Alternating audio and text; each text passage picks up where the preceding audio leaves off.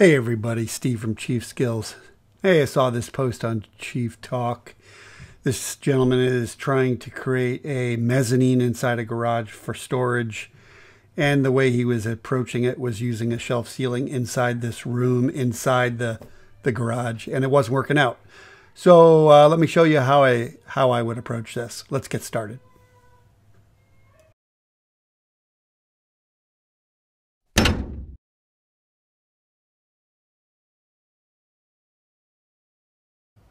Okay, let's get started. And I just did a quick little drawing uh, similar to yours.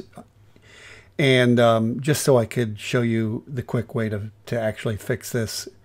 And using two floors is the easiest way. Just copy all these exterior walls. Actually, you got I, I don't have a second floor. So the first thing I'm going to do is build a new floor. And I'm going to say derive from first floor plan. And don't worry about the height for now. So we have a second floor and it's basically standard height, like eight foot tall. So I looked at your plan here, and you have a ceiling height in here of 169 and an eighth. Yes. So what I did here is I did a section back clip right through here. It doesn't matter where. And then I took a CAD box, just a CAD line, a CAD, CAD polyline, and I made it 169 and an eighth. And then I took another line and I did this, and you could do this, you know, autom- with your calculator, and it needs to drop that distance right there, four foot one and three quarters. So I'm going to go back here and open this floor and go minus 49.75 minus. I got to put a minus there. And if we look at our section, it should be, there you go. So there's our 169 and eighth right to the top plate. So now what you do is you go downstairs and copy this wall, go up, Control Alt V for paste and hold position, take the door out, open this here, make it invisible. Okay. And then in this room here, you make it open below. And now if we take a section back clip through this way, you will see you basically have your mezzanine. Um, so let's just take a camera view downstairs here. See what we see here. And there you go.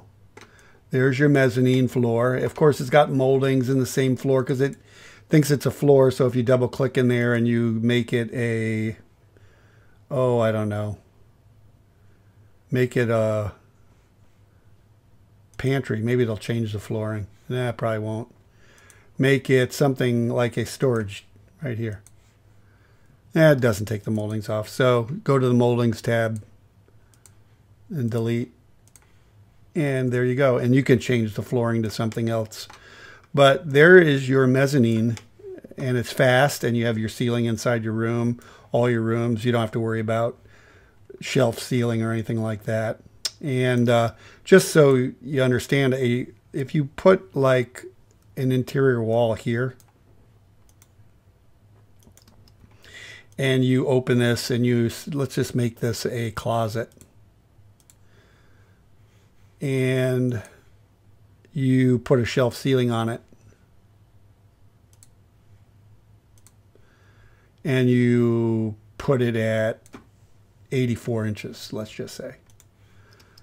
Now you look at it and there's your shelf ceiling. It, it's designed to work inside another room. So um, just a quick video on how to create a mezzanine style room within another room. And in this view, you want to make sure that you have invisible walls turned on. Uh, a lot of these templates don't have this automatically set when you use the camera view full 3D. And uh, that needs to be fixed in your template so that when you go into these rooms, if you, if you have that turned off, for instance, you're going to see this. And uh, so make sure you have it checked and then it'll complete the system there. just a quick video on how to create a mezzanine room within a room. It's a good way to do it without using a shelf ceiling. Uh, that would create all sorts of problems inside this space. So, and it doesn't frame. Uh, I didn't do the framing, but let's say we built framing here and we built wall framing and, oh, ceiling framing on first floor and roof framing. Let's just build it all here. Say, okay, now I don't want to see it in this view. Okay, and then we'll take another view here. We'll get the camera and take a framing overview. And as you can see in here, the wall doesn't build. So uh, that's a quick way to do that. I uh, hope this video helps.